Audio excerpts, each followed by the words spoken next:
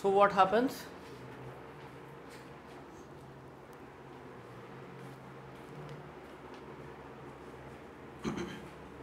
so what happens? They are there is a there is a sheet of graphite that is linked to the sheet below, and the wonder of wonders is that they are able to glide due to the weak bonding between the two molecules from the two sheets. Right now, what happens? It is slippery, so acts as a solid lubricant. As I told, in wagons, in wagons, it is like it's very difficult to put that that lubricant in the first place. So while manufacturing, we put them, and then we take it out after 10 years or so, and it's still there and it's still doing its job. Okay, then you'll realize the importance of this. Graphite is a conductor. The second thing is that graphite is a conductor, and I told you the brushes that rub over the that straight away rub over the copper. Okay, now how do you design things? Whatever is harder will cut the softer one, right? So you, whenever you design things in motors, wait, whenever you design things in motors, what happens?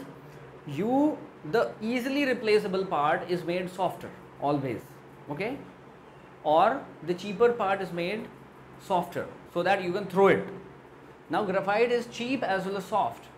So you put it as a brush and then you keep on throwing it away. But because if you use something else, say some other metal, it will cut the it will cut the copper. The moment the copper is cut, you have to rewind the motor or the generator. So you're gone. Okay. It takes time.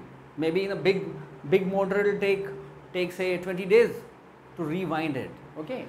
So graphite is a conductor and is used as carbon brush. Carbon brush. So whenever you you hear about a brush, carbon brush, it is actually a graphite brush. Okay, it is actually a graphite brush that we are talking about. It is not carbon in the sense that that's sort of insulated or something. No, it has to be a conducting thing. Now, now you see, so it is a conductor. It is a conductor and it is also soft. It is a soft conductor. okay also the the lead pencils that that the children use that's made up of graphite all right normal lead pencil hmm? mm-hmm. Normal pencil में क्या होता है? उसी की बात कर उसी की बात कर रहा हूँ मैं।